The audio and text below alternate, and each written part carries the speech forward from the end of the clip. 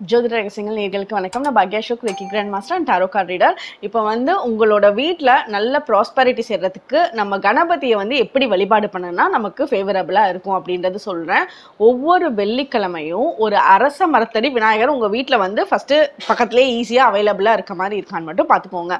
So ஒவ்வொரு வெள்ளிக்கிழமையும் தொடர்ந்து பதினோரு வெள்ளிக்கிழமை போங்க. அந்த விநாயகர் கோயிலுக்கு போய் அரச மரத்து அடியில் வந்து இருக்கிற விநாயகராக இருக்கணும். அங்கே வந்து பதினோரு மண் விளக்கு தீபம் வைங்க. வச்சுட்டு பதினோரு தடவை அந்த அரச மரத்தை வளம் வாங்க.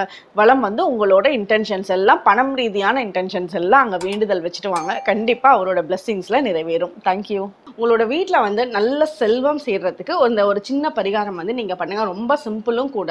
இப்போ நம்ம சுக்கிர நம்ம பகவானை வேணாலே நமக்கு நல்ல செல்வ செழிப்பு கொடுக்குறவர் அப்படின்றது நமக்கு தெரியும்.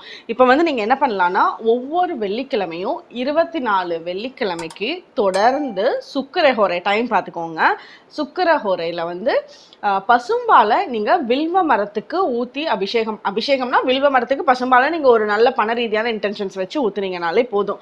அப்படி வேண்டுதல் பண்ணிட்டு இருபத்தி நாலு வெள்ளிக்கிழமை தொடர்ந்து பண்ணுறப்போ அந்த இடத்துல நல்ல செல்வ செழிப்பு சேரும். அதே மாதிரி வெள்ளிக்கிழமை அன்னைக்கு நீங்கள் உப்பு வாங்கலாம் வெள்ளிக்கிழமை அன்னைக்கு சு மொச்சப்பயிர் வாங்கலாம். இது எல்லாமே சுக்கிரஹோரையில் வாங்குறப்போ அந்த இடத்துல வந்து செல்வ செழிப்பு அதிகமாகும். தேங்க்யூ